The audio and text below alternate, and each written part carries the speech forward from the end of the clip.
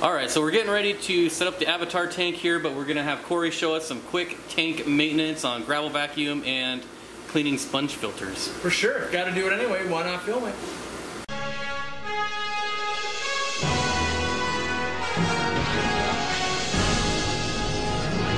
Alright, so I'm going to show you how to gravel vac. I've got Mike from AquaPros here. He's going to do the Avatar tank, and I thought this video helped a lot of people, and I don't know if everyone on Steenfott's channel has seen it, and so it's basically how we're going to start a, a, gravel vac or a siphon. A lot of people would uh, suck on the end, get the water flowing, but there's a much easier way. So the goal, I, I always say how we're going to do it, then I demonstrate it. we got to fill this main tube up with water, and when this blue part, or green part if you have a Python, gets above the rim, the water will start flowing. Then the goal is to put it down below the rim the same exact way so that we don't trap air. To let water in, the siphon's going. If I come down this way, it's going to catch an air bubble and stop it. So I'm going to demonstrate that. We basically put it in. We're filled with water at this point. There's no air. When this blue part comes above, the water will start flowing. And we got to put it back down. Water's flowing. And now we've got water. So if I do it incorrectly, this is what you're going to see happen though.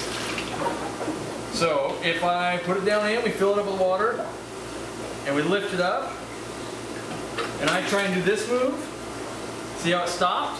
That's where you go wrong. It has to go back down in at that angle. So we put it back in, fill it up with water, we lift it over the rim, water's flowing, we put it right back down in, and we're golden. The next tip I got for you is you want to do it like you're mowing your lawn in rows. And so you separate the waste and you can crimp the hose. That's it's hard initially because the hose isn't used to being crimped. But once you get some soft spots in there, you can work your substrate and separate all the waste. And so instead of me not crimping it and then trying to get it out, you know, and taking a lot of water out, you just crimp it, and it falls right out. And then you move on to the next spot. And so you can be really efficient when you're moving through your tank and you won't have to take out all the water and you save time and uh, you don't have to do massive water changes. And uh, obviously I need to gravel vac a little more. There's a little bit of pockets in the sand, some, some hydrogen sulfide gases coming out. But we're going to uh, mix up the substrate and add some different stuff for the Avatar tank. And uh, yeah, so that's those are my tips. And a lot of people on my channel found it, like they just didn't know those tips. Uh, the other one you can do, like let's say you, for some reason you can't figure out that action I just did, uh, this brings up another point. When you take it out, if you just lift it up, the stuff that's in this tube is going to fall right back in. So put your hand over the end and release the crimp and it suctions onto it. So then we have all that waste that would have gone back in. The other way that I never showed on my channel, which is kind of an old school way to do it, is you actually get the whole thing in here. And you just got to get all the air out which is better if you don't hook over that.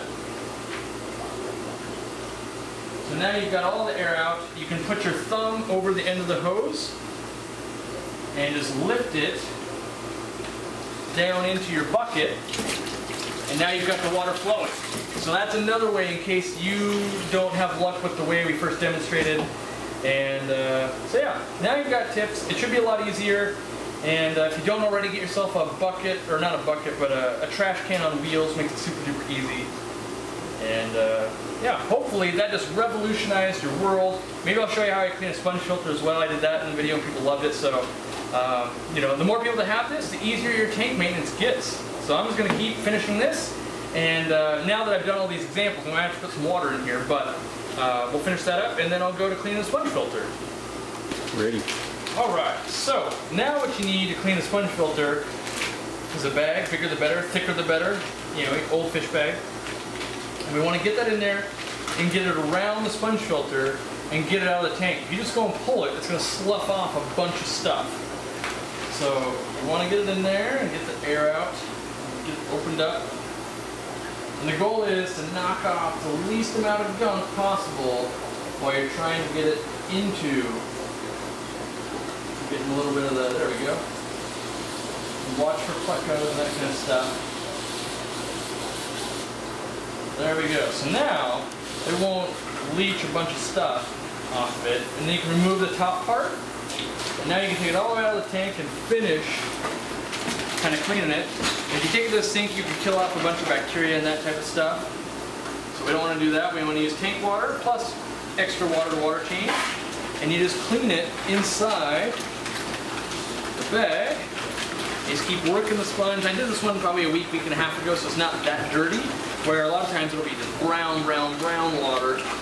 And this is already, you know, like decently dirty. It's gonna be, you know, we're gonna do that at least one more time. You kind of wring out as much as you can. You're gonna put it back in, get some more water.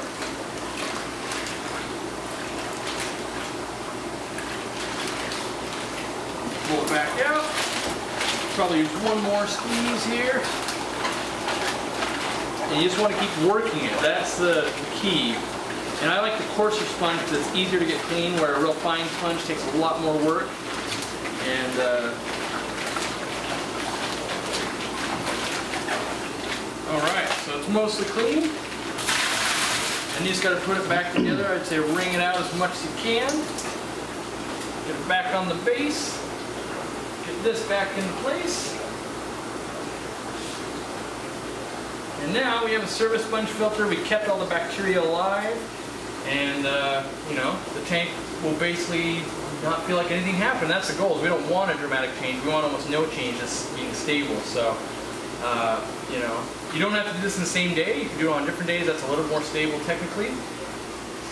All right, so there you go, some easy tank maintenance. I had to stand on a ladder just to be the same tallness as Bob. I'm literally on a ladder right now. no joke.